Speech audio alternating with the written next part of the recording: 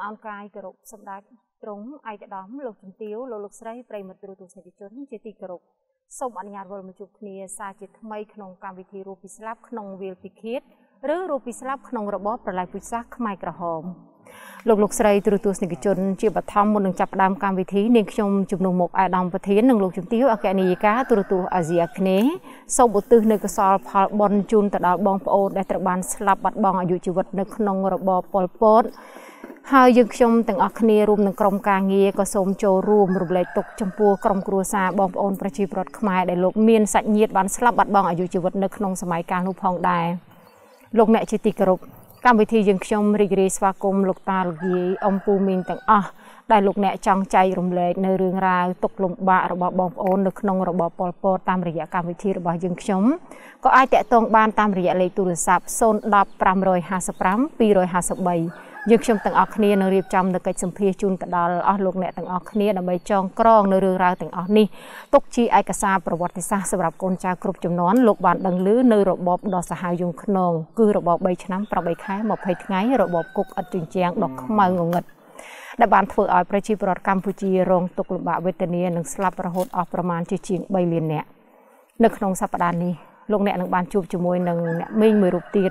ដែលអ្នកមីងក៏ជាប្រជាពលរដ្ឋខ្មែរមួយរូបដែលបានរួចរស់ជីវិត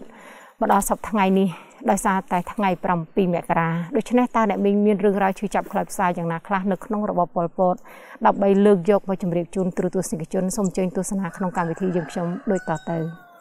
ចាជំរាបសួរអ្នកមីងចាជំរាបសួរ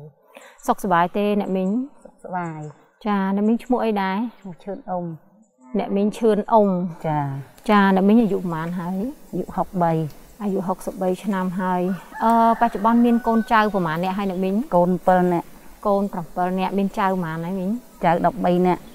ចៅ13នាក់ហើយចាសប្តាហ៍ថ្ងៃនេះរស់នៅណាដែរអ្នកមីងរស់នៅភូមិផ្អៅឃុំព្រៃតតឹងស្រុកនេសាទចាខេត្តព្រៃវែងណាអ្នកខេត្តមីងព្រៃវែងចាចុះពីអឺមុនសម័យប៉ុលពតក្នុងសម័យលន់ណល់មីងរស់នៅណាដែរមីង ខ្ញុំរស់នៅឃុំច្រេះភូមិបឹងតូងស្រុកណាដែរអ្នកមីងខេត្តស្ណារុកដែនេរសាទដែរខេត្តចាព្រៃវែងដែរអូអត់មានតាណាទេស្រុកកំណើតនៅនេះទេស្រុកកំណើតនៅនឹងចាចុះប្រវត្តិអឺក្រុមគ្រួសារឪពុកម្ដាយអ្នកមីងគាត់ជាអ្នកអឺមន្ត្រីរាជការឬក៏ជាអ្នកជាជាកសិករទេអ្នកមីងក្រុមគ្រួសារខ្ញុំអ្នកធ្វើស្រែកសិករចាមានបងប្អូនប្រហែលអ្នកដែរអ្នកមីងបងប្អូន7នាក់បងប្អូន7នាក់ដែរប្រុសប្រហែលស្រីប្រហែលអ្នកមីងអើ ប្រុស4ស្រី3ចាអឺអ្នកមីងអញ្ចឹងនៅក្នុងនាមអ្នកមីងដែលមានបងប្អូន7នាក់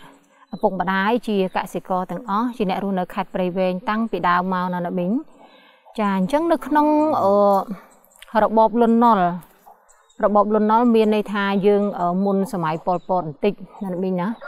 ដោយសារតែស្រុកយើងក៏ជាប្រទេសមួយទទួលរងសង្គ្រាមតាំងពីជំនាន់នោះមកមុនជំនាន់នោះទៅទៀត ចាអញ្ចឹងក្នុងសម័យលន់ណល់នៅក្នុងខេត្តព្រៃវែងនេះយ៉ាងម៉េចដែរអ្នកមីងម៉ែឪមិនឲ្យដើរខ្លាចយន់ទម្លាក់អញ្ចឹងឲ្យនៅអន្ត្រង់សេលោកគ្រូហើយពិបាកណាស់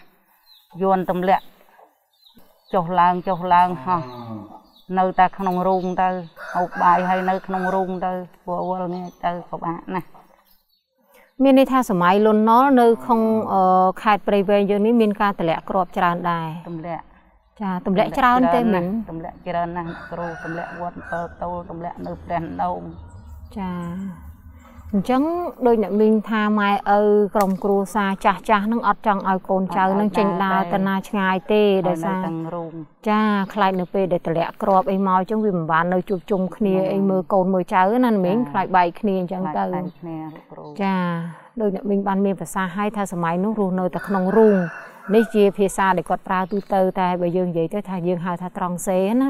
ចានៅក្នុងសម័យនោះភាគច្រើនប្រជាពលរដ្ឋរបស់យើងលោកធ្វើត្រង់សេដើម្បីកិច្ចពីក្របបែកក្របខ្លោងណាមីងណាពីទម្លាក់ណាមីងណា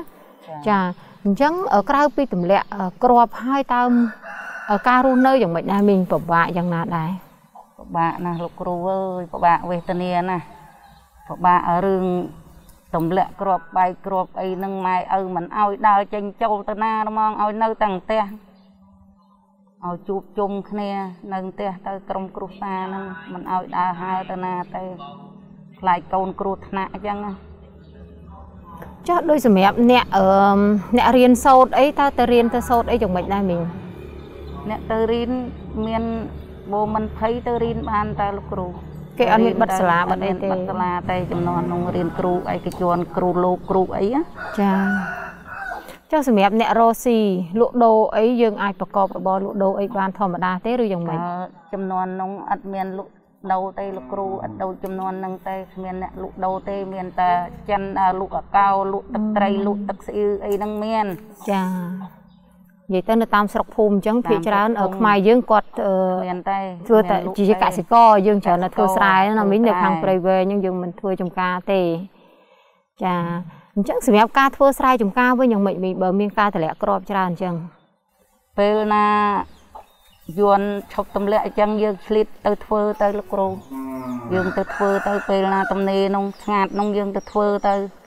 ពេលណានេះទៅយើងពូនទីទៅ គេថាតម្លាក់ហ្នឹងគេមានម៉ោងពេលគេដែរណាមីងចាមានម៉ោងលោកគ្រូមានម៉ោងចាគេច្រើនតែតម្លាក់ពីពេលណាដល់ពេលណាមីងទម្លាក់ហ្នឹងចាប់ពីម៉ោង2អីដល់ម៉ោង4ហ្នឹងណាពីល្ងាចយរសៀលហ្នឹងណាមីងណាម៉ោង2រសៀលហ្នឹងចាជួនណាស់ទៅព្រលឹមឡើងពេលម៉ោង7អីហ្នឹងចាប់ផ្ដើមហោះមកហើយមកទម្លាក់ហើយ អញ្ចឹងអឺនៅពេលដែលមានការតម្លាក់គ្រាប់ច្រើនអញ្ចឹងមានអ្នករងគ្រោះដោយសារគ្រាប់តម្លាក់ហ្នឹងទេមីងមានដែរលោកគ្រូមានស្លាប់មានអីដែរស្លាប់នៅក្នុងរូងវាបាញ់មកចំ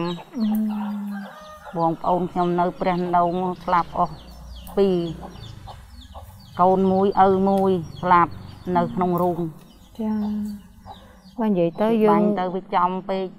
ចាយើងធ្វើត្រង់សេគឺសម្រាប់តែថាចាកិច្ចពីបំបែងគ្រាប់ទេណាមីងហ្នឹងបើសិនជាវាតម្លាក់មកចំក៏វាអត់អាចទប់ទល់បានដែរទប់ទល់អត់បានដែរចាអានេះជាទុកលំបាករបស់បងប្អូនប្រជាប្រដ្ឋរបស់យើង នៅ ក្នុងសម័យលន់នល់អញ្ចឹងមានន័យថាបន្តទៅនេះគឺយើងឆ្លង ពីសម័យលន់នល់ចូលដល់សម័យប៉ុលពតវិញម្ដងណាមីងចាអញ្ចឹងពេលដែលយើងផុតពីលន់នល់ទៅពេលដែលប៉ុលពតចូលមកដល់ថ្ងៃ17មេសានឹងភ្លាម តើពេលនោះក្រុមគ្រួសារអ្នកមីងត្រូវបានជំលះទៅណាឬក៏យ៉ាងម៉េចដែរអ្នកក្រុមមីងគ្រួសារខ្ញុំមុនដំបូងអញ្ចឹងបែកណែងចូលមកប៉ុលពតអញ្ចឹងគេនេះគេប្រមូលស្រូវអង្គអញ្ចឹងដាក់ជំរុកផ្សឹងណាលោកគ្រូហើយគេបើកឲ្យយើងហូបផ្សឹងដល់យូរយូរទៅ ទៅជាបាយរួមតែហ្មងទៅជាបាយរួមអញ្ចឹងគេបបោឲ្យយើងហូបវល់ចានអញ្ចឹងកន្លះកូនចានឲ្យយើងហូចាបពិបាកវេទនាណាស់លោកគ្រូអើយ ស្លោក្តៀងក្តៀងហាលស្គន់ហាលស្លោតាមនឹងបាល់ទេគ្មានដាក់ប៊ីចេងទេដាក់តែស្ករយើងហ្នឹងចាពិបាកវេទនាណាស់ចាអឺសម្រាប់មីងជាអ្នករស់នៅក្នុងមូលដ្ឋានផ្ទាល់ដូចថាមីងជាអ្នករស់នៅព្រៃវែងក្នុងស្រុកណាដែរកាលដែលកាលដែលប៉ុលពតមកមីងនៅស្រុកណាមីងខ្ញុំនៅឃុំច្រេះឃុំបឹងទូងចាហើយដល់ពេលប៉ុលពតមកអត់មានចម្លៀសមីងទៅណាទេ អត់ទាន់ជំនះទេនៅនឹងនៅស្រុកនៅនឹងផ្ទះសិនហ្មងចាអញ្ចឹងសម្រាប់មីងជាអ្នកមូលដ្ឋានអញ្ចឹងពេលដែលប៉ុលពតចូលមកដល់ភ្លាមហ្នឹងគេគេធ្វើយ៉ាងម៉េចពេលដែលគេចូលមកភ្លាមហ្នឹងគេធ្វើយ៉ាងម៉េចចំពោះគ្រួសារមីងក៏ដូចជាអ្នកផ្សេងទៀតជហ្នឹងូលមកអញ្ចឹងវាធ្វើបាបយើងដូចថាយើងដំបងណាណាមីងថ្ងៃដំបងណាដូចថាយើងវាចូលមកអញ្ចឹងវាសម្លុតយើងអត់ឲ្យយើងហូបអីទេវាបង្អាត់យើងអញ្ចឹង មិនឲ្យយើងរកអីហូបទេតែយើងយកតែអំបិលហូបគោប្តឹងយើងយកទៅដាក់គុកដែរយកទៅកសាងចាយកយើងទៅកសាងមិនឲ្យហូបទេយើងគោះតែតំឡងមកមើមហូបក្រុមគ្រួសារយើងក៏វាមិនឲ្យហូបដែរលោកគ្រូអើយពិបាកណាស់ចាវេទនាណាស់ចំនួនពលពតនៅក្នុងស្រុកភូមិមីងមានអ្នកចម្លៀសពីក្រៅមកទេមីងថ្ងៃ10ថ្ងៃអឺការការជំនាន់ពលពត ជំនះមកពីស្វាយរៀងមកពីបំពេញមិនលោកគ្រូថ្ងៃ17មេសាមីងនោះហើយជំនះមកអញ្ចឹងយកយើងមកអញ្ចឹងនៅតាមភូមិអញ្ចឹងយកមកនៅអញ្ចឹងយូរយូរទៅស្រាប់តែដាក់ផ្ទះដាក់អីយកថាយើងយកទៅរៀនសូត្រអញ្ចឹងទៅមិនរៀនសូត្រយកគ្នាទៅសម្លាប់ចោលអ្នក17ហ្នឹងឯងមីងហ្នឹងហើយយកទៅសម្លាប់ចោលទៅអឺប្រាប់មីងតែបាត់បាត់សូនទៅចា អឺមីងអាចមើលឃើញឬក៏អាចចងចាំអីខ្លះបានទេសម្រាប់អ្នកអឺ17មេសាដែលគេជំលះពីពេញឬពីខេត្តផ្សេងផ្សេងចូលមកនៅក្នុងស្រុកភូមិមីងហ្នឹងអ្នក17ហ្នឹងភាគច្រើនគេឲ្យរស់នៅបែបម៉េចធ្វើការងារបែបម៉េចដែរមីងឲ្យមកស៊ូងដកដូចតែយើងអញ្ចឹងប៉ុន្តែដល់យូរយូរយកគ្នាទៅបាត់ទៅថាយកទៅរៀនសូត្រហ្នឹងគ្នាចេះពលកម្មចេះធ្វើដែរប៉ុន្តែមិនដឹងអាម៉េចយកគ្នាទៅវាយចោលអស់ស្រាប់បាត់បាត់ទៅ មានអ្នកជំលះមកច្រើនទេមីងជំនេះច្រើនក្នុងមួយភូមិឲ្យនៅ10គ្រួសារ vẫn ដែរមកភូមិឲ្យនៅ10គ្រួសារចាតែសម្រាប់អ្នកមូលដ្ឋានគេអត់ជំលះចេញទេឲ្យនៅនឹងដែអរត់ជំនេះតែនៅដដែលចាប៉ុន្តែការរស់នៅបែបម៉េចគេឲ្យរស់នៅជុំគ្រួសារនៅផ្ទះយើងធម្មតាអឬត់ក៏ជុំមិនគ្រួសារទេខ្ញុំគេឲ្យជំហានទី1គេឲ្យទៅកងចល័តខ្ញុំទៅនៅប្រហែល3 4គីឡូដីនៅផ្សារច្រេះ បែកម៉ែបែកឪឪនៅផ្សឹងម៉ែនៅផ្សឹងទៅបងនៅដោយខ្លួនទៅប្អូននៅដោយប្អូនទៅហើយខ្ញុំគេយកទៅកងចម្លាក់ចល័តជំហានទី1ហ្នឹងគេយកខ្ញុំទៅច្រូតនៅអីស្វាយរៀងហ៎ទៅច្រូតអីកំពង់រោដល់ទៅច្រូតចឹងធ្វើបាបណាលោកគ្រូអើយយប់មកយើងដេកទេយាមដាក់វេនគ្នាដាក់វេនគ្នាអញ្ចឹងមកមកក្នុងមួយអ្នកអញ្ចឹងយាម3អ្នកអញ្ចឹងមកយប់ហ៎ យាម3ម៉ោងបានដូរគ្នាទៀតអាពតវាដាក់វេនយាមយើងហ្នឹងហ៎មីដាក់ងឲ្យយើងយាមអូឲ្យយើងហ្នឹងអ្នកហ្នឹងយាមហើយយើងអ្នកយាមដល់យាមគ្រប់ម៉ោងអញ្ចឹងដូរផ្លាស់គ្នា ដល់ផ្លាស់គ្នាអញ្ចឹងគេដាំបាយរួមហ៎នៃលោកគ្រូដល់ដាំបាយអញ្ចឹងគេដាំបាត់ដែងច្រកស្បោងច្រកស្បោងអញ្ចឹងយើងចប់ហ្នឹងយើងឡើងសៀបរកបាយស្បោងទៅអាណាណែនជាងគេយើងយកទៅ ហើយទៅច្រូតទៅព្រលឹមឡើងហ្នឹងទៅច្រូតបានតែមួយក្តៀវពីរក្តៀវអញ្ចឹងគ្រាប់ផ្លោងមកហើយនាំគ្នារត់ទៅពិបាកណាស់លោកគ្រូអើយវេទនាណាស់ទៅកងចល័តទៅស្វ័យរៀងនោះគ្មានបានដេកបាននៅទេពិបាកតាំងរត់ទៅហ្មងយប់ពិបាកណាស់រត់អញ្ចឹងសម័យអាពតហើយនៅតម្លាក់គ្រាប់ទៀតហើយមីងណារត់គ្រាប់ផ្លោងគ្រាប់ផ្លោងមកពីយូនណាលោកគ្រូយើងទៅច្រូតចឹងយូនផ្លោងមក ច្រូតក្នុងមួយអ្នកចឹង7ម៉ែត្រមួយ7ម៉ែត្រមួយអត់ឲ្យច្រូតជុំគ្នាទេចាដល់ចឹងទៅបានតែមួយក្តៀវពីរក្តៀវហ្នឹងបានតែមួយក្តាប់ហ្នឹងផ្លោងមកហើយផ្លោងយើងមិនរត់លោកគ្រូខ្លាចចាដល់ចឹងរត់មកនាំគ្នាមកវិញមកមកកន្លែងវិញទៅមកកន្លែងហ្នឹងគោគេមិនថាអីយើងដែរប៉ុន្តែថាគូណាគេមិនឲ្យយើងហូបឆ្អែតបាយហ្នឹងគេវល់វល់វល់ច្រកស្បោងឲ្យយើងហ្នឹង ចាហើយសម្លគេស្លស្លឹកដំឡូងស្លក្តៀងស្ងួតស្លគ្មានសាច់ទេលោកគ្រូអើយស្លតទេហ្មងណាស៊ីហូបមិនកើតទេពិបាកវេទនាណាចា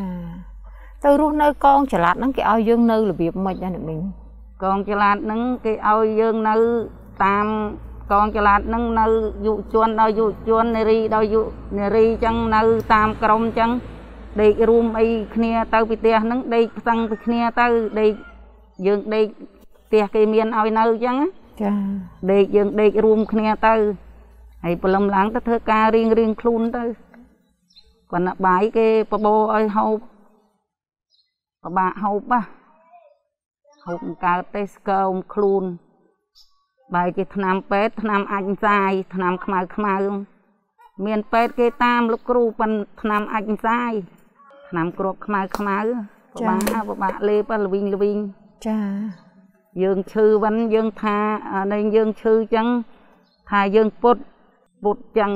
គេមកនឹងថាយើងទៅមេគេមកនឹងថាយើងទៅមេអាប៉ោតហ្នឹងមេកងធំគេហ្នឹងចាមកថាឲ្យយើងថាយើង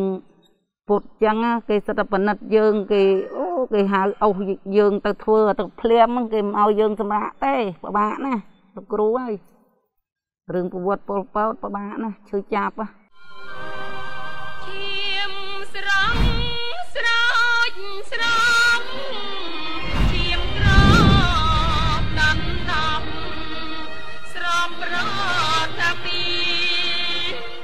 អ្នករស់នៅកងចល័តហ្នឹងភាកច្រើនអឺគេគេចាប់ឲ្យនៅ ចាប់ពីប្រហែលជាវ័យប៉ុណ្ណាដែរអ្នកមីងចាប់ពីអាយុ7 10 7 10 8 10ចាកុមារគេអត់ឲ្យចូលកងចល័តទេចា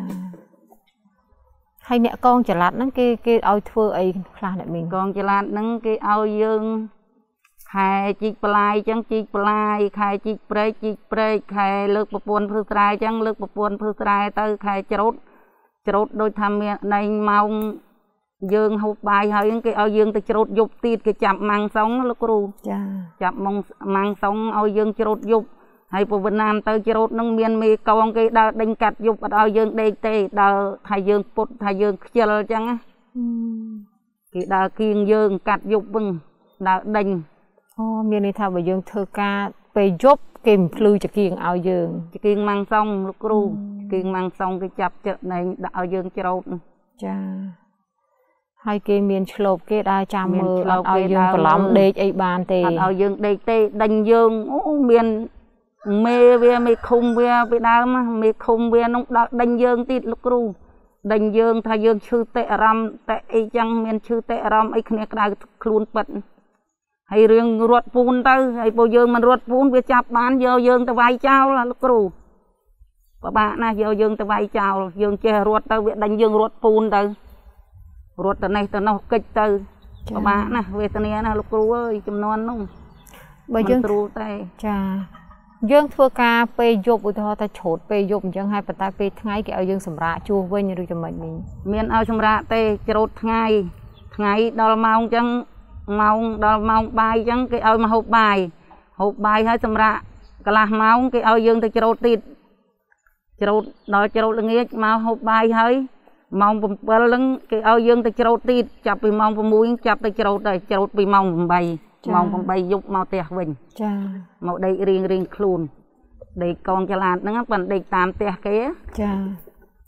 តាមក្រុមទៅ មានចា៎ក្រុមអញ្ចឹងដូចថាមកក្រុមអញ្ចឹង 7នាក់ហ្នឹងគេឲ្យផ្ទះមួយសុំផ្ទះគេឲ្យដេកទៅយើងដេកទៅគេចែកក្រុមអញ្ចឹងមកចែកក្រុមប្រហែលទៅអ្នកដែរគ្រូមីងមកក្រុម7នាក់អូមកក្រុម7នាក់គាត់តែមានមេក្រុមមានអីគេក្តោបក្តាប់ត្រឹមត្រូវណាលោកគ្រូអើយ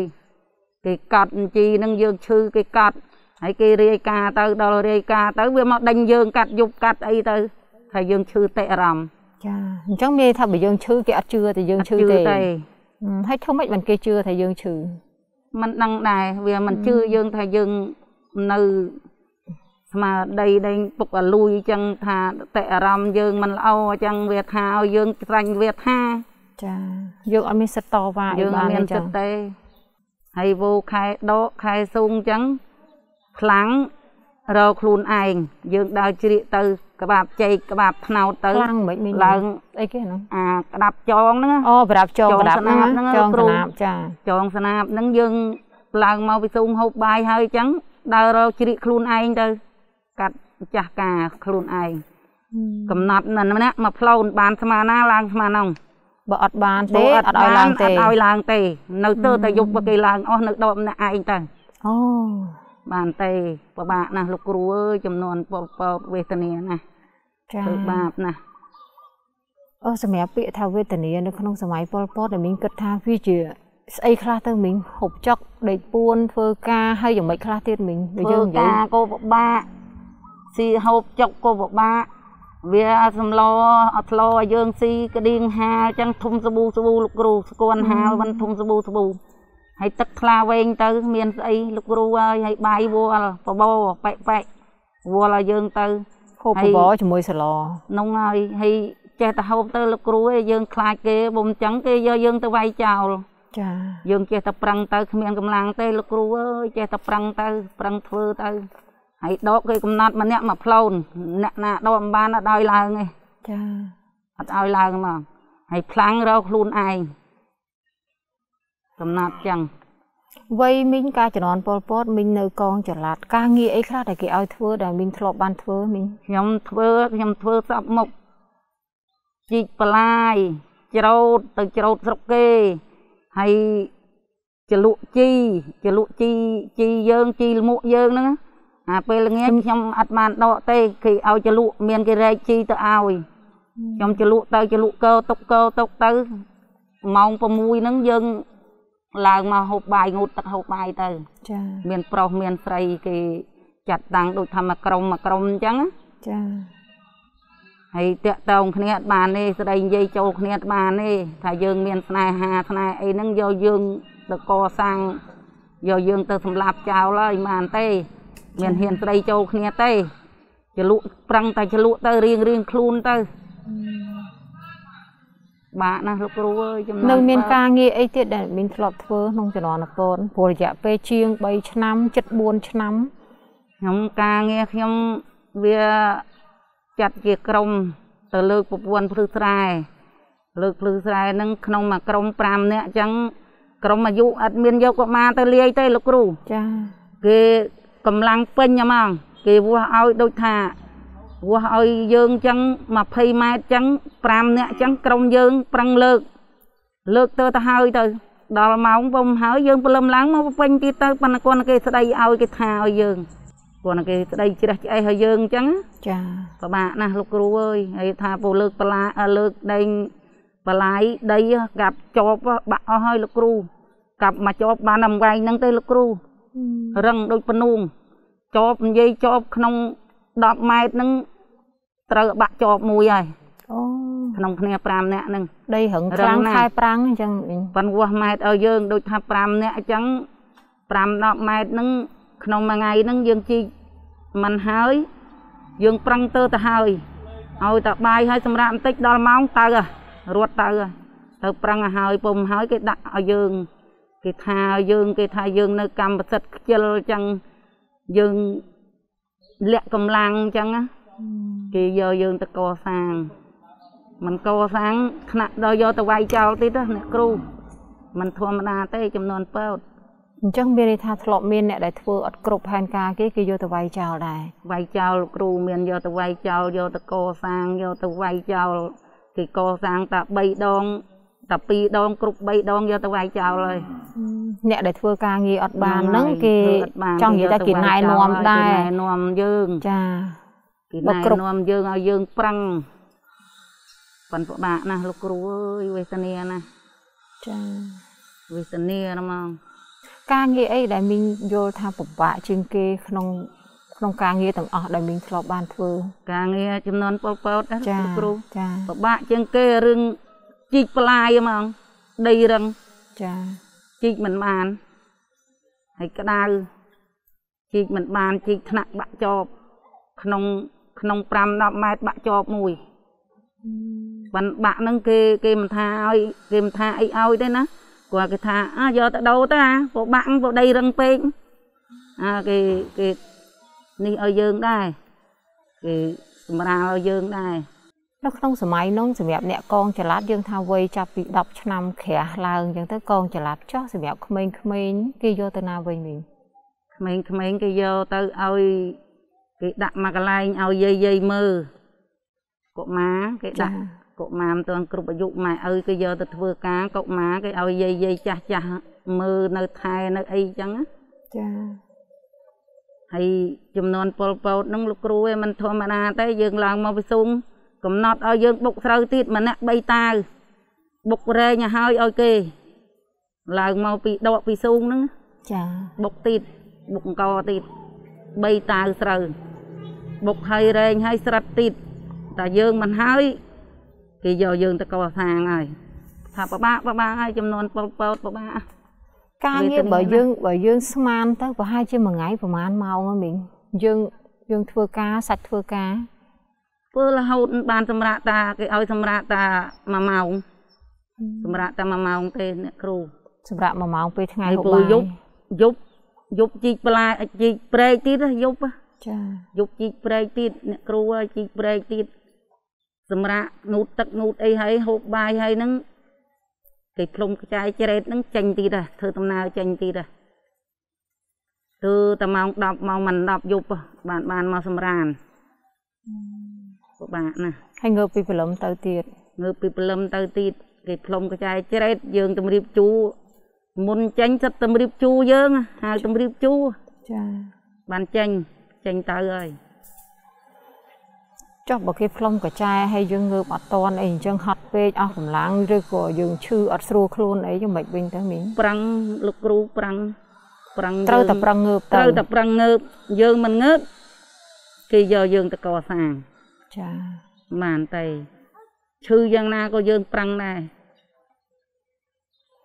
អ្នកដែលគេយកទៅកសាងហ្នឹងយ៉ាងម៉េចខ្លះដែរវិញគេយកទៅណាវិញយកកសាងយកទៅអង្គប្រជុំអញ្ចឹងហៅយើងទៅកសាងថាសមមិត្តឯងថ្ងៃក្រោយកុំធ្វើចឹងទៀតកុំឈឺតិអារម្មណ៍ចឹងទៀតប្រឹងធ្វើការគេ មើលគេគេប្រឹងធ្វើហើយយើងក៏ធ្វើមិនកើតដូចគេថាឲ្យយើងចឹងចាគេថាតែលើក2ដងទេតែលើក3ដង បាត់ខ្លួនហើយគេប្រាប់ចឹងអឺគេប្រាប់យើងត្រង់ចាអញ្ចឹងលើកទី3ហ្នឹងមានន័យថាបាត់ខ្លួនឬគេយកទៅណាវិញវិញ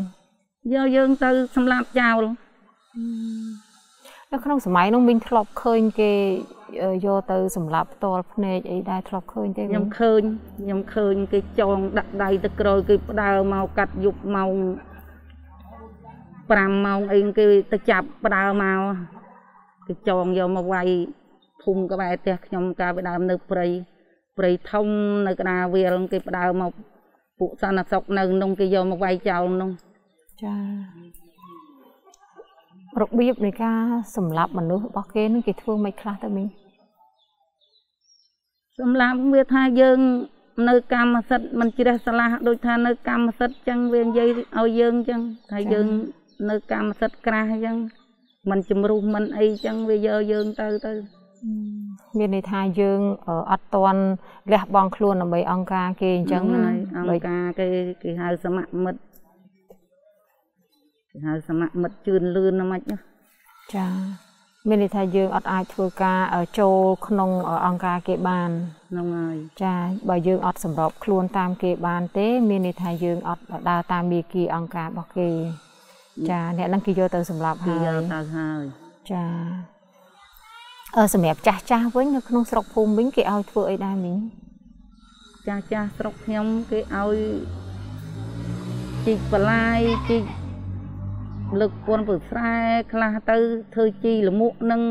រែកជីលមុខនឹងយកមកធ្វើហាលទៅខ្លះទៅដកស៊ូងចាស់ចាស់ចាគាត់ទៅណា ឆ្ងាយមិនរួចគាត់នៅត្រឹមលើកនៅភូមិមីងពេលនៅចរន្តពតអញ្ចឹងនៅជុំគ្នាមួយគ្រួសារបងប្អូនឪពុកម្ដាយអីទេខ្ញុំអត់ដែរជុំគ្រួសារទេបងខ្ញុំទៅទាហានមួយស្លាប់បាត់ទៅហើយបងខ្ញុំមកវឹកចំនួនអពតហ្នឹងប្អូនខ្ញុំបងខ្ញុំគេឲ្យទៅជីកបន្លាយនៅចិនតីហ៎គ្រប់ផ្លោងគ្រប់អីមកខ្ញុំទៅកំពង់រោស្វាយរៀងបែកគ្នាម៉ែឪខ្ញុំនៅផ្ទះ ម៉ែខ្ញុំមានជំងឺឈឺទៀតដឹងថាម៉ែឪឈឺដែរមីងដឹងពួកគាត់ឈឺប្រចាំកាយតាំងពីខ្ញុំនៅទូចទូចៗម៉េះម៉ែខ្ញុំ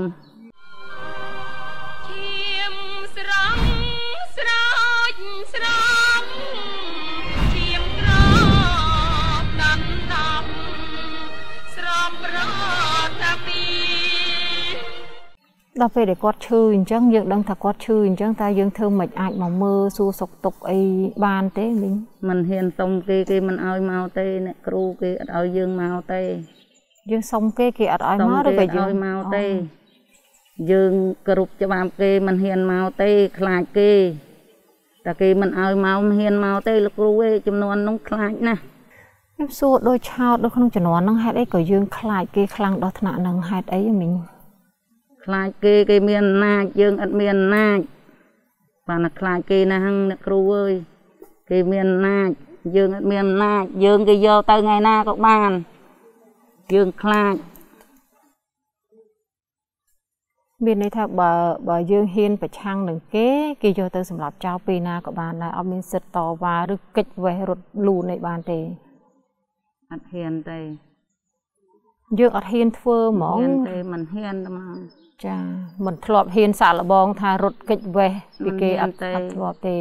បាក់ស្បាតហ្មងបើយើងនិយាយបាទៅក់ស្បាតចាមានបងមកសម្លាប់ប្អូនណាលោកគ្រូឯងនិយាយចឹងចំនួនមិនអាលោកប្អូនខ្ញុំនៅកងចល័តទៅមកចាប់ប្អូនខ្លួនឯងណាឯងអញប្រាប់មិនតាមទេឯងឥឡូវលោកប្អូនឯងជើញឡើងឡានទៅយកទៅវាយចោលបាត់ហើយអូគឺបងប្អូនឯងបង្កើតហ្នឹងបងប្អូនបកើតចាគេគេច្បាយស្រុកអូ ហើយប្អូនហ្នឹងនៅផ្ទះធ្វើនៃនៅផ្ទះធ្វើស្រែធម្មតាហ្នឹងខ្ញុំជួបប្រទេសហើយមកចាប់បព្រលឹមឡើងម៉ោង7មកចាប់ប្អូនមកមានន័យថាបងហ្នឹងគេអឺខាងប៉ុលពតខាងពលពតនេះប្អូននៅផ្ទះគាត់ខុសអីហីមីង ខុសអីគេថាយើងដូចថាយើងកាលពីដើមមានអញ្ចឹងលោកគ្រូចាយើងមានអញ្ចឹងគេថាយើងមិនព្រមជំរុះមិនព្រមអីអញ្ចឹងណាដល់អញ្ចឹងគេថាយើងក្បាលសក្បាលខ្មៅអីគេចេះមកចាប់យើងទៅទាំងអស់ហ្នឹងភាគច្រើនជាពាក្យចោតប្រកាន់ហ្នឹងទេឬចោទមិនមីងចោតប្រកាន់អត់មែនចំទេចោតប្រកាន់គ្នាទេគ្នាគ្មានក្បាលសក្បាលខ្មៅអីទេប៉ិនចោតប្រកាន់គ្នាហ្មង ក្បាលសក្បាលខ្មៅមានន័យថាម៉េចមីងគឺចង់និយាយថាម៉េចអាហ្នឹងគេថាពួកយើងក្បាលសក្បាលសហ្នឹងយ៉ាងម៉េចមីគេងថាយើងមិនជំរុះនៅកម្មសិទ្ធិចឹងណាដូចថាកម្មសិទ្ធិយើងដាក់មិនអស់អញ្ចឹងណានៅរបស់របរអីយើងដាក់អាពោតដាក់មិនអស់អញ្ចឹងណាដល់នេះគេថាយើងនៅលូចស៊ីអញ្ចឹងគេថាយើងក្បត់ជាតិហើយគេថាអញ្ចឹងគេចោទយើងថាយើងក្បត់ ធម្មតាអឺដូចមីងបានមានប្រសាសន៍ពីដំបូងមកអញ្ចឹងថាពេលដែលប៉ុលពតចូលមកភ្លាមនោះគឺគេប្រមូលស្រូវប្រមូលអីនេះយកទៅដាក់ជំរុករួមអស់ហើយដាក់ជំនុកជំរុករួមលោកគ្រូអត់មានឲ្យសល់ជាស្រូវកម្មសិទ្ធិអីយើងទេអត់មានឲ្យនៅកម្មសិទ្ធិទេគេយកទៅដាក់មកកន្លែងហ្មងស្រូវមិនដឹងយកទៅណាអស់ប៉ិនវាមិនឲ្យយើងស៊ីទេហ្មងតែបបោមកវែកមកវែកឲ្យយើងហើយបើថាសាច់ជ្រូកចឹងធ្វើមួយចឹង វាប្រឡាក់ទុកស៊ីតែគ្នាវាទេ វាស្លោឲ្យយើងខ្លាញ់កច្រាំប៉ិនប៉ុណ្ណឹងទៅផ្ដែតជាមួយស្គួនដើមចេកទៅស្លោឲ្យយើងហូបទៅហើយយើងមិនហូបឯណាខ្លាចគេឲ្យងាប់ពិបាកណាស់នៅក្នុងសម័យនោះចាប់ណាអឺមីងធ្លាប់បានគេត្រូវយកគេយកទៅកសាងអីទេមីងផ្ទាល់ខ្លួនឯងខ្ញុំឈឺខ្ញុំសុំច្បាប់គេដល់អញ្ចឹងគេមកដេញចាប់ខ្ញុំកាត់យប់ ខ្ញុំរត់ពូនដល់អញ្ចឹងថ្ងៃក្រោយបានគេកសាងខ្ញុំកសាងថាខ្ញុំនឹងខ្ជិលលាក់កម្លាំងនៅកម្មសិទ្ធិ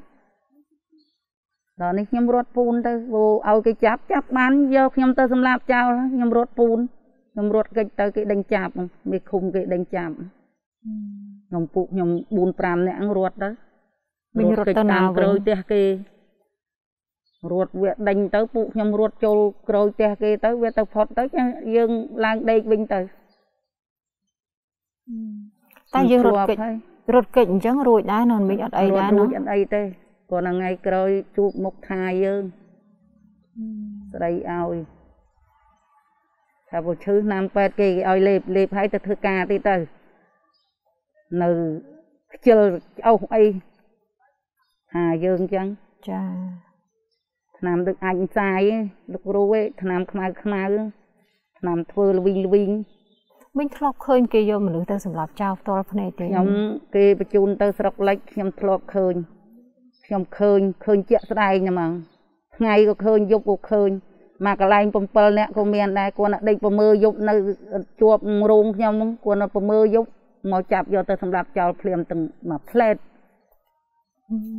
ទៅស្រុកលិចមកកន្លែង7នាក់មកកន្លែង6ក៏មានលោកគ្រូឲ្យច្រើនណាស់ខ្ញុំឃើញគេសម្លាប់ដេញសម្លាប់ទាំងថ្ងៃក៏មានហើយខ្ញុំហ្នឹងខ្លាចខ្ញុំខ្លាចដល់ខ្ញុំខ្លាចចឹងខ្ញុំញ័រសាច់អស់ហើយសម្លាប់ហើយមើលថ្ងៃបញ្ជូនខ្ញុំទៅលោកគ្រូហើយបញ្ជូនខ្ញុំទៅស្រី30នាក់បញ្ជូនទៅម៉ោង6ម៉ោង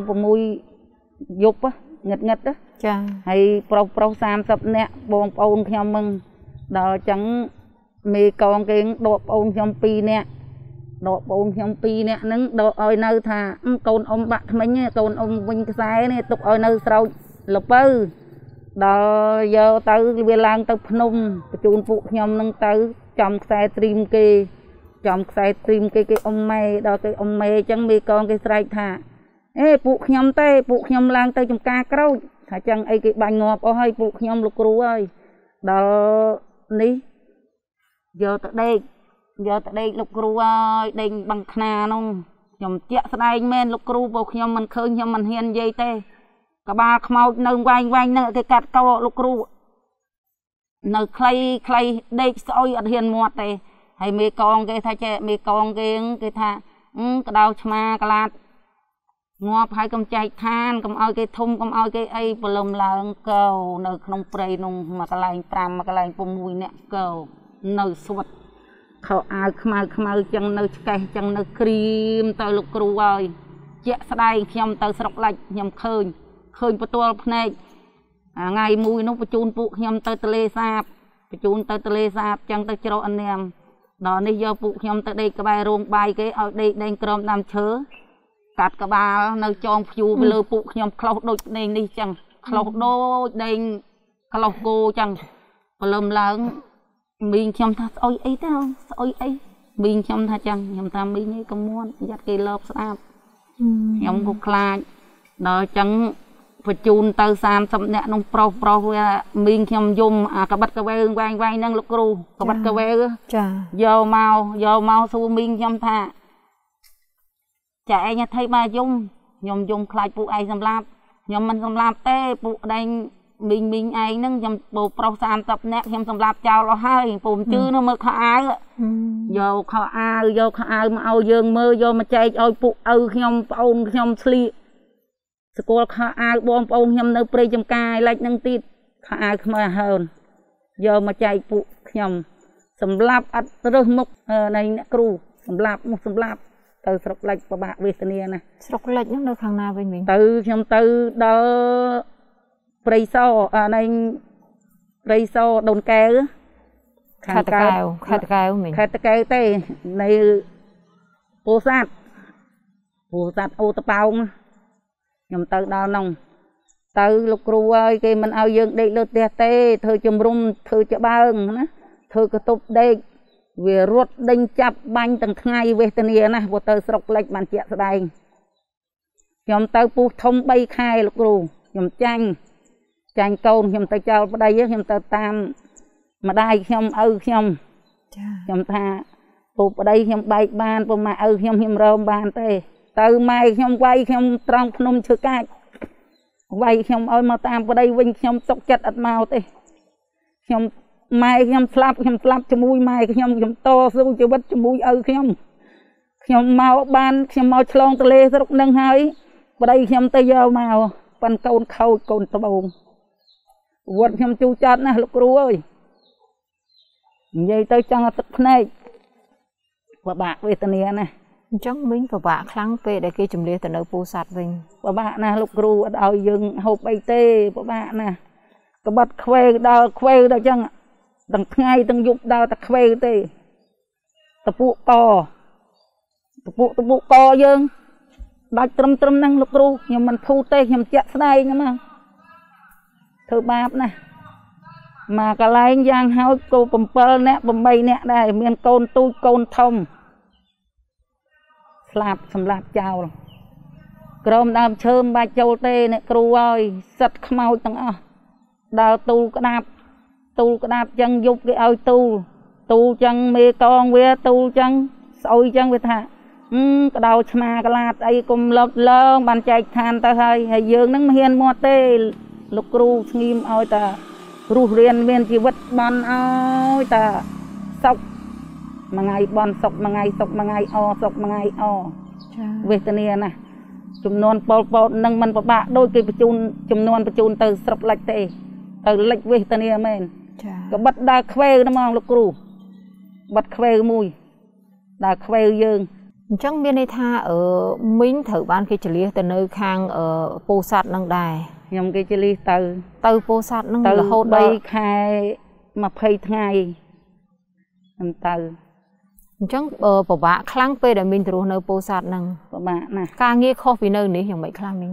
ការងារខុសខុសនៅស្រុកយើង គេ មានឆ្លោបគេដើរយើងធ្វើការអញ្ចឹងគេដើរពិនិត្យតាមដានយើងអញ្ចឹងពិនិត្យតែយើងមិនធ្វើការមិនឲ្យគេគ្រប់គ្រាន់គេចាប់យើងយកទៅសម្លាប់ចោលតែភ្លៀងពិបាកណាស់ខុសនៅឯស្រុកទៀតពិបាក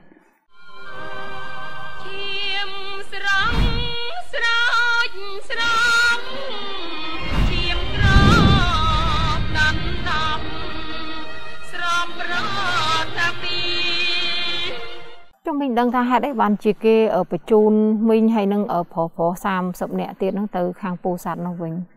បញ្ជូនទៅឡើងទៅភ្នំបញ្ជូនទៅជាមួយខ្ញុំចុះដើរមកខាងម្នាក់ចខ្ញុំមើលទៅឃើញមើលទៅទៅបាត់លឹមលឹមហើយដល់អញ្ចឹងវាមកយកបាត់យកខោអាវមកវាមីងខ្ញុំយំ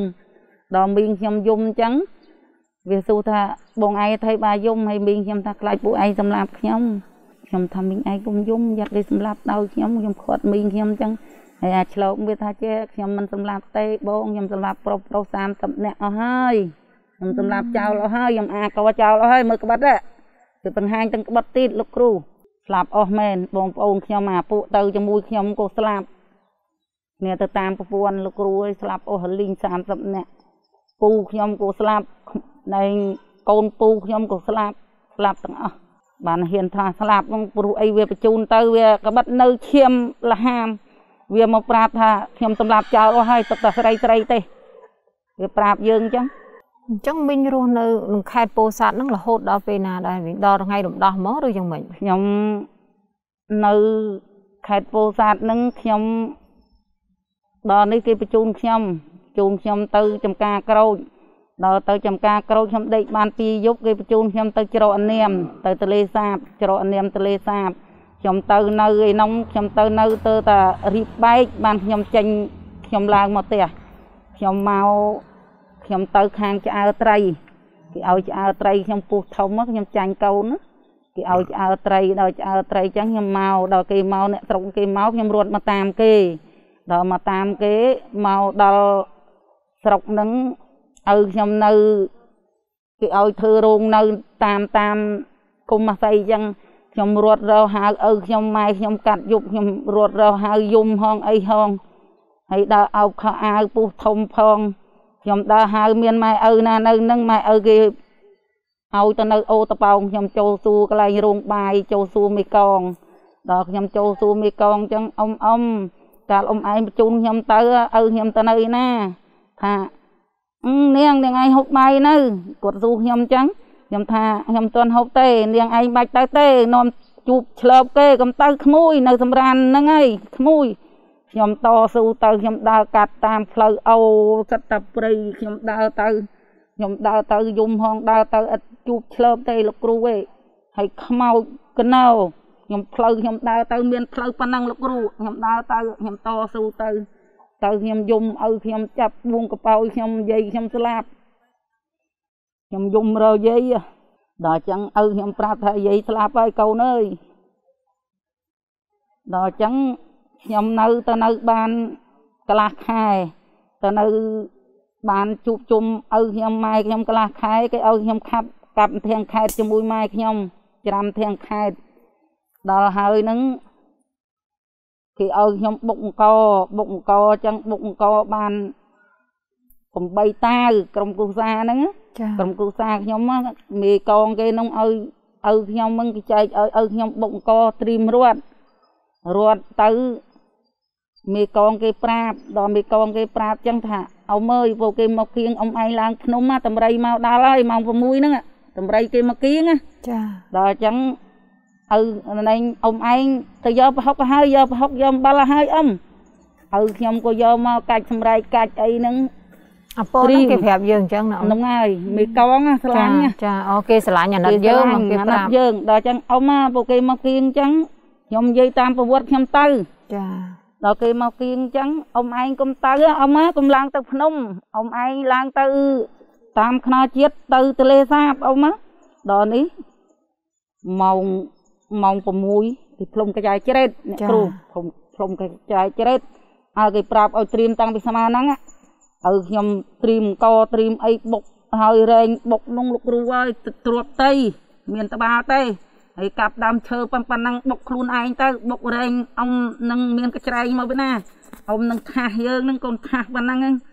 អ៊ំបាងកោ8តាវត្រៀមរត់រត់ទៅរត់ទៅ ទៅនៅទលេសាបច្រកអនាមហ្នឹងទៅនៅបានកន្លះខែ នៅកន្លះខែដល់នេះកន្លះខែ ឪខ្ញុំបាចត្រីបាចអីកាត់ធៀងត្រៅធៀងអីមានទងជាតិគេខំខំលោកគ្រូមានទងជាតិគេខំខំគេថាថាគេទម្លាក់ស្បត់ណាយួនទម្លាក់ស្បត់ចាគេតម្លាក់ត្រាក់អឺទម្លាក់ត្រាក់មកថាស្រុកណាគេឲ្យទៅស្រុកនោះវិញហើយដល់ចឹងឪខ្ញុំថាកុំមាត់កូនគេយ៉ាត់គេបោកឆោតយើងមិនបាច់មាត់ទេកូនត្រៀមអុសដៃមីងខ្ញុំទាំងអស់មីងខ្ញុំនៅរស់រាល់ថ្ងៃទាំងអស់ហ្នឹងចា ឪខ្ញុំកំរាបអត់ឲ្យមាត់ទេខ្លាចគេប្រឆោតថាវេទនាណាស់អ្នកគ្រូអើយអាខ្លះកើតកូនហើយអញ្ចឹងកាត់តែសុកកាត់គ្នាយើងនឹងកាត់ចងឲ្យឲ្យ3រត់ទៅ ឡើងទៅបូពីណាឡើងទៅភ្នំងាប់ទាំងអស់បូឡើងទៅច្រកនាមរស់ទាំងអស់ទៅចឹងដល់ឡើងមកវិញគេប្រកាសប្រកាសខ្ញុំទៅនៅបានកន្លះខែច្រកនាមហ្នឹងកន្លះខែអញ្ចឹងគេថាស្រុកណាឲ្យទៅស្រុកនោះវិញឡើងមកអញ្ចឹង មានអាឆ្លោកវាដើរគៀងទៀតគៀងគៀងយើងអត់ឲ្យយើងមកទេគៀងឲ្យទៅអាស័យ100គុំទៅនោះវាយកទៅសម្លាប់ចោលឯនោះចាហើយដល់ចឹងវៀតណាមមកវៀតណាមគេរៀងដៃចឹងថានេះឪខ្ញុំពិបាកវេទនាឪខ្ញុំមានពីណាដូចរែកតាខ្ញុំយកទៅចោលប្រហែលភូមិកើតនោះមកយកពួកខ្ញុំទៀតរែករែកយកទៅទុកចោលហើយបានមកយកពួកខ្ញុំទៀតហើយអាពួកឆ្លប់វាដើរគៀង គៀងវាគៀងគៀងគៀងឲ្យយើងទៅអាស័យ100គុំវាយកទៅសម្លាប់ចោលប៉ុន្តែយើងមិនទៅចាមិនទៅចឹងលោកគ្រូអើយមកក៏ដាក់ដាំបាយលើខ្នល់ជាតិចឹងថាគាត់ថាឆ្លប់វាមកទៀតហើយបទុះបត្រះមិនទាន់ធីបាយបានហងទំបានមកទៅព្រះលើកដាក់ចានដាក់ឆ្នាំងរត់ទៀតហ៎ប្រមាណណាស់លោកគ្រូអាហ្នឹងយករំដោះហើយគេមករំដោះដោះចាបែកប៉ុន្តែមិនទាន់មិនមិនទាទាន់ន់ដឹងថាធៀបពិតទេចាគាត់ថានៅនៅប្រមាណ នៅឆ្លប់វាដល់គៀងយើងរហូតតែយើងដឹងថាគេមករំដោះទេមីងដឹងហើយដឹងដឹងហើយដឹងដឹងប៉ុន្តែយើងអឺដឹងអត់អាចប៉ុន្តែគិតហ៊ានពីអាមកពួកទេអពតនឹងបានទេហ្នឹងហើយអត់ចាហ៊ានមាត់ទេមានន័យថាពួកពួកឆ្លបវានឹងវានៅតែគៀងយើងដលោកដែលវាដល់គៀងយើងរហូតក៏ភ្លើងចា៎ដល់គៀងយើងរហូតពិបាកណាស់ពិបាកវេទនាណាស់លោកគ្រូហើយពូអ្នកណាជឿវាទៅដឹងឲ្យងាប់ទាំងអស់អត់មានរស់ទេមីងខ្ញុំមួយមកគ្រួសារគាត់គេទម្លាក់សបុតថាទៅសុំថាអើយ ធាននៅធានខ្ញុំសុំទៅស្រុកខ្ញុំវិញគេប្រកាសឲ្យទៅស្រុកដល់អញ្ចឹងគេប្រឆោតណាថាមិនអីទេចាំខ្ញុំឲ្យទៅហូបបាយអាចែតហូបហើយមកគ្រួសារទៅលីងមីងខ្ញុំនៅព្រៃចំការវាយចោលទាំងអស់ចាហើយក្រុមមីងខ្ញុំបានឪខ្ញុំកំរាបទេអីងាប់អស់ហើយឪខ្ញុំក៏ទម្លាក់សបុតរើសបានចឹងឪខ្ញុំយកទៅញ៉ាប់ពិបាកវេទនាបងប្អូនប្អូនខ្ញុំនោះជំទួងជំទួងនោះ ទៅចឹងគេហែទៅយកទៅសម្លាប់ចោលចឹងលោកគ្រូអើយគេយកទៅសម្លាប់ចោលចឹងប្អូនខ្ញុំរត់មករកម៉ែឪរត់មកនៅដែលយើងធ្វើរោងនៅហ្នឹងធ្វើរោងមាននៅផ្ទះស្រួលបួលទេលោកគ្រូឯងរោងប្រក់ស្លឹកដូងគ្មានជាងគ្មានអីទេដាំបាយនៅហាលវាលហាលចោលហាលភ្លៀងនោះទៅប្រមាណណាស់ទៅស្រុកគេនោះវេទនាណាស់ដីខ្លាញ់ដីខ្លាញ់យកឯងទៅវាយចោលលោកគ្រូអើយមានពីណាដូចពួកខ្ញុំទេនៅមួយទៀតនោះនោះ ទៅដែរគេបញ្ជូនទៅពុះធំដែរបែកប្តីដែរវេទនាណាស់តែពេលហ្នឹងយើងដឹងថាវៀតណាមគេមករំដោះហើយមិនគេយើងអត់រត់មកខាងវៀតណាមវិញមិនគេយើងទៅតាមវាទៅអីមីងអាខ្លះវាឆោតលោកគ្រូឯងវាឆោតវាវាឆោតគេបឆោតបានអញ្ចឹងវាទៅតាមគេគេថានោះគេមិនដោះទៅផ្លូវនោះស្រួលណាស់ប៉ុន្តែដឹងគេយកទៅវាយចោលគេយកទៅវាយចោលអស់ច្រើនណាស់គួនតែមិនដោះមកលោកគ្រូហើយពិ បាកវេទនាអាថ្ងៃរំដោះហើយហ្នឹងក៏ក៏នៅតែសម្រាប់យើងចោលដែរណានៅមីងសម្រាប់លោកគ្រូខ្ញុំមកខ្ញុំមកគាត់មកនៅខ្ញុំចេញមិនដោះបានហើយខ្ញុំចេញមកឡើងមកតាមខ្នល់ជាតិខ្ញុំគាត់ណាដើរដើរមួយខែបានដល់ដល់កំពង់ឆ្នាំងទៅនៅកំពង់ឆ្នាំងជួបបងប្អូនខ្ញុំធ្វើចវាយខេតមកនៅក្នុងកន្លះខែទៀតមកនៅក្នុងកន្លះខែដល់អញ្ចឹង មកនៅពោធិ៍សាត់ទៀតមកនៅពោធិ៍សាត់កន្លះខែទៀតទៅដកដំឡូងលោកគ្រូឲ្យទៅដកដំឡូងគ្មានបាយហ៎គ្មានបាយហូបយកដំឡូងហ្នឹងមកមកហូបជំនួសបាយទៅដកបានទៅដកភ្នំបងខ្ញុំមិញឪខ្ញុំទៅដករែកមកដល់អញ្ចឹងគេថាអឺស្រុកណាគេឲ្យទៅស្រុកនោះវិញចែកគេអស់ហើយយកតែមកហូបមកទៅអាប្អូនខ្ញុំហ្នឹងលុះតានេះរត់រើអាប្អូនហ្នឹងរត់រើមិនឃើញទៀតឪខ្ញុំនឹងម៉ែខ្ញុំយំយំបោកខ្លួនពិបាក គេរំដោះបានហើយមិនគេយើងមកស្រុកវិញអត់ទាន់បានវិញអាហ្នឹងមកពីអីលោកគ្រូឯងមកក្តារផ្លូវត្រង់ខ្ញុំទៅចាំទេណាត្រង់ព្រៃនោះវានៅបាញ់ទាំងនោះទៀតចានៅបាញ់យើងស្រាក់យើងបាញ់ទាំងនោះទៀត